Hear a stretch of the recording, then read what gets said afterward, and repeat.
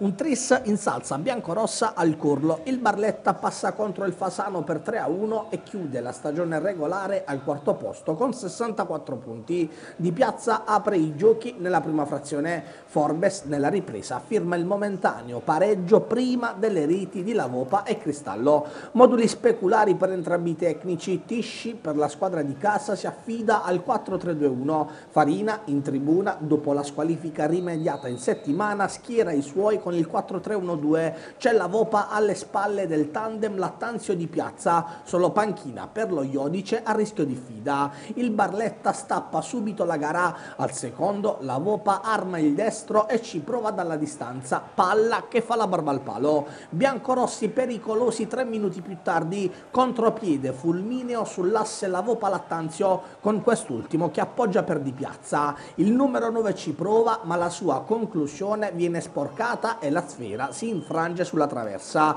Barletta che massimizza gli sforzi al dodicesimo con la rete del vantaggio. Lattanzio pesca di piazza in profondità. Il numero 9 si invola verso la porta e da posizione defilata trova l'angolino giusto per l'1-0. I ritmi sono tutt'altro che balneari. Al diciottesimo Menegatti fa buona guardia sull'incornata di Ponso. Al ventesimo invece è Corvino a rompere il ghiaccio per il Fasano direttamente da calcio d'angolo e la traversa ad evitare il peggio per lo vecchio. Un minuto più tardi è ancora Barletta pericoloso in contropiede con il tocco sotto di Lattanzio che si stampa sulla traversa. I padroni di casa escono alla distanza. Al ventiseiesimo il fendente di Manfredi scalda i guantoni di Lovecchio, mentre lo stesso numero uno bianco-rosso disinnesca un tiro al veleno di Forbes agli sgoccioli della prima frazione. Squadre negli spogliatoi.